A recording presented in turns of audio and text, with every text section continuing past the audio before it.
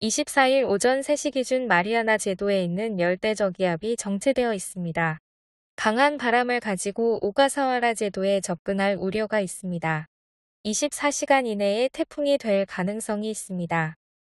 24일 오전 3시에 최대 순간 풍속은 초속 23m이고 최대 풍속은 초속 15m입니다. 28일 목요일 오전 3시에는 최대 순간 풍속이 초속 50m, 최대 풍속이 초속 35m, 중심 기압은 975헥토파스칼로서 태풍의 방향은 시속 15km이고 방향은 북쪽으로 이동하겠습니다.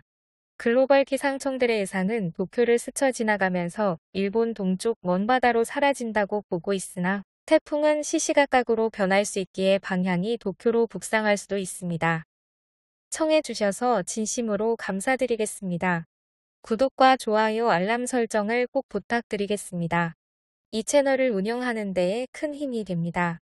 감사드립니다.